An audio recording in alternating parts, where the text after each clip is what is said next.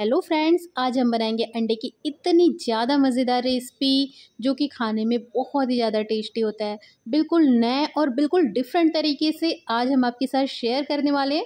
तो देरी की इस बात की, चलिए फिर इस रेसिपी को बनाना शुरू करते हैं। तो उसके लिए एक मिक्सर जार में हमें डालना है प्याज। तो यहाँ पर मैंने एक बड़े साइज़ का प्याज, जिसमें से आधा मैंने इस तरीके से कट किया है। आधा हम आगे यूज़ करेंगे। उसी के साथ मैंने अदरक लहसुन ऐड किया।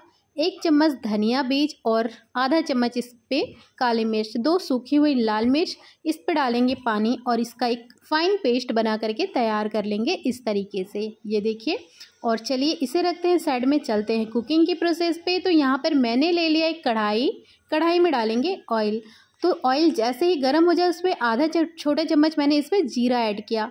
जीरा के चटकने के बाद हमें इसमें ऐड करना है, ये जो मसाले, अदरक, लहसुन, धनिया, काली मिर्च हमने पीसा था, वो ऐड करने के बाद इसे अच्छे से चम्मच चलाते हुए मिक्स करते हुए मसाले को अच्छे से भून लेंगे ताकि जो इसका पानी है वो अच्छे से ड्राई हो जाए।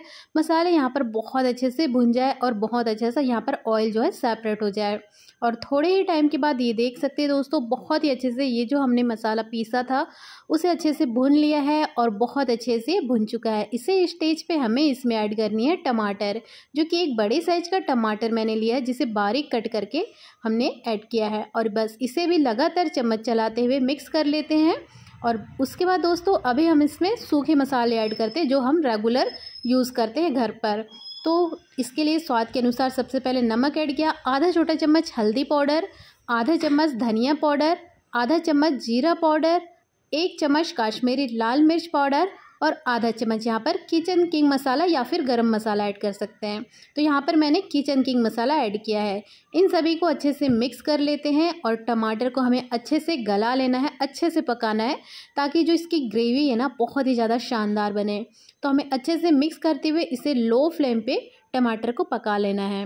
और थोड़े ही टाइम के बाद टमाटर देख सकते हैं, बहुत अच्छे से यहाँ पर पक गई है। मतलब थोड़ी बहुत है, वो ग्रेवी के साथ साथ पक जाएगी और यहाँ पर टमाटर जो है एकदम सॉफ्ट हो गई है। इतना ही हमें चाहिए। अब हम इसमें ऐड करते हैं पानी। तो ज़रूरत के अनुसार जितनी ग्रेवी हमें रखनी है, उतनी ही हमें पानी ऐड करना है। और पानी ऐड करने के बाद इसे चम्मच चलाते हुए अच्छे से मिक्स कर लेते हैं।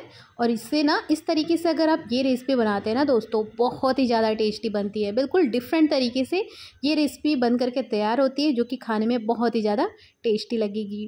और दूसरे साइड यहाँ पर मैंने एक प्लेट पे इस तरीके से हमें अंडे को फोड़ लेना है।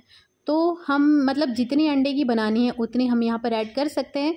तो आज मैं जो रेसिपी बना रही हूँ, वो छः अंडों की बना रही हूँ। तो यहाँ पर मुझे छः अंडे चाहिए। तो यहाँ पर मैंने छः अंडे को इस तरीके से प्लेट पर जो है फोड़ करके रख लिया है और उस पर ऐड करेंगे नमक स्वाद के अनुसार और साथ ही हमें इसमें ऐड करना है बारीक कटा हुआ प्याज, हरी मिर्च और धनिया पत्ती। जो कि मैंने इस रेसिपी में सिर्फ़ एक बड़े साइज़ का प्याज यूज़ किया है। आधा मैंने स्टार्टिंग में ऐड किया था, आधा हमने अभी ऐड किया है। हरी मिर्च, धनिया पत्ती को भी डालने के बाद इसे अच्छे से विस्कर की हेल्प से विस्क कर लेंगे। और ये देखिए, बहुत अच्छे से सभी को यहाँ पर फेंट लेना है, ताकि जो अंडे हैं ना, बहुत ही ज़्यादा फ्लेवरफुल बने। मतलब प्याज, हरा मिर्च, धनिया पत्ती, नमक वगैरह सब मिक्स होकर अंडा जब पकता है ना, इससे इसका स्वाद जो है और भी ज़्यादा बढ़ जाता है। तो इस तरीके से मैंने घर की कोई भी एक प्लेट ले ली या कटोरी ले ली, उस पर हमें ऑयल को अच्छे से ग्रीस कर लेना है, इस तरीके से ब्रश की सहायता से। या फिर हाथ की सहायता से। और इस तरीके से करछी के माध्यम से हमें इस पर जो अंडे को हमने फेट करके रखा ना, इस तरीके से डालेंगे। तो ये जो कटोरी है ना, थोड़ी बड़ी साइज़ की है। तो यहाँ पर करीबन मैं डेढ़ चम्मच के बराबर यहाँ ऐड कर रही हूँ। ये देखिए, सारे अंडे को हमने यहाँ पर इस तरीके से कटोरी पे ऐड कर दिया। और उसके बाद ये जो ग्रेवी है ना, इसके ऊपर हमें कोई भी घर पे जो कटोरी रहती है या प्लेट रहती है, वो रख देनी है और इसके ऊपर थोड़ा सा पानी डाल देना है ताकि इसके ऊपर जो हम अंडा पकाने के लिए रखेंगे ना, ये जो जाली हिले ना। एक मैंने एक जाली रख ली, चाहो तो आप यहाँ प्लेट भी रख सकते हो। उसके बाद यहाँ पर जो हमने अंडों वाला जो प्लेट रखा था ना, उसे इस तरीके से अच्छे से अरेंज कर लेते हैं और इसकी लेड लगाकर करीबन छः से सात मिनट तक मीडियम फ्लेम पर पकाएँगे। मैंने छः मिनट तक इसे पकाया मीडियम फ्लेम पे और ये जो अंडे बहुत अच्छे से पक गए हैं और ये देखिए, ग्रेवी भी बहुत अच्छे से सिज गई है।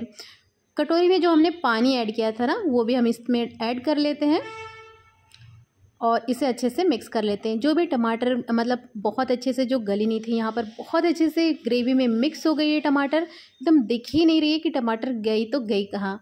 और ये देखिए, बहुत ही शानदार यहाँ पर ग्रेवी बन करके तैयार हुई है। अंडा चेक कर लेते हैं। ये देखिए, अंडे भी बहुत अच्छे से यहाँ पर पक गए हैं। तो हमें इस तरीके से कोई भी एक चम्मच की सहायता से उसे इस तरीके से साइड से इसके जो किनारे हैं ना, वो हटाएँगे और हमें इसे प्लेट पर निकाल लेना है। तो ये बहुत ही आसानी से निकल जाती है क्योंकि हमने स्टार्टिंग में ना इस कटोरी पे ना तेल लगाया था। और आप कटोरी में भी देख सकते हैं, एकदम बहुत अच्छे से निकल गई है, बिल्कुल भी नहीं चिपकी।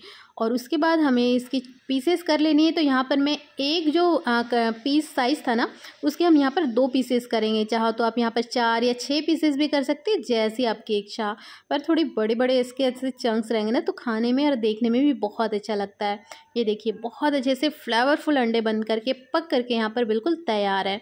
तो चलिए अब हम इसे ऐड करते हैं ग्रेवी में। फ्रेंड्स अंडे की रेसिपी तो आपने बहुत बार बनाई होंगी बहुत बार खाई होगी। मैंने भी आपसे हर बार अलग अलग नए नए प्रकार के अंडे की रेसिपी शेयर की है, पर आप एक बार ये रेसिपी ज़रूर ट्राई करिएगा। सच में आपको बहुत ही ज़्यादा पसंद आएगा। आप जिसे भी इस रेसिपी को खिलाएँगे ना, आपसे ज़रूर पूछेगा कि आपने इसे कैसे बनाया, क्योंकि सच में होती ही इतनी ज़्यादा ये रेसिपी टेस्टी है।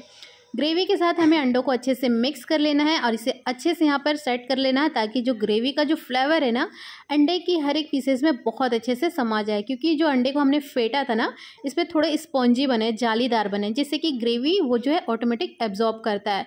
इससे वजह से इसका जो स्वाद है ना, बहुत ही ज़्यादा बढ़ जाता है जब हम इसे खाते हैं। बस मैंने उसे पाँच मिनट तक लो फ्लेम पे पकाया और पाँच मिनट के बाद देख सकते हैं, बहुत ही ज़्यादा शानदार अंडे की ये बिल्कुल नए तरीके से नए स्वाद वाली रेसिपी बन करके तैयार हुई है। आप इसे चावल, पराठा, रोटी किसी के साथ भी खाएँगे ना, सबके साथ बहुत ही ज़्यादा अमेजिंग लगती है। और बस हमें यहाँ पर करना है गैस बंद। बारी आती है सर्विंग करने की। तो फ्रेंड्स, आपको आज की अंडे की ये नए तरीके से नई स्वाद वाली मज़ेदार सी रेसिपी कैसी लगी प्लीज़ कमेंट करके ज़रूर बताइएगा। रेसिपी पसंद आई हो तो लाइक ज़रूर करें, साथ ही इसी तरह की नई नई रेसिपी देखने के लिए चैनल को ज़रूर सब्सक्राइब करें, क्योंकि हम आपके लिए रोज़ एक नई रेसिपी लेकर आते हैं। हमारी पूरी कोशिश रहती है कि रोज़ आपके लिए एक अच्छी अच्छी नई नई रेसिपी लाएँ।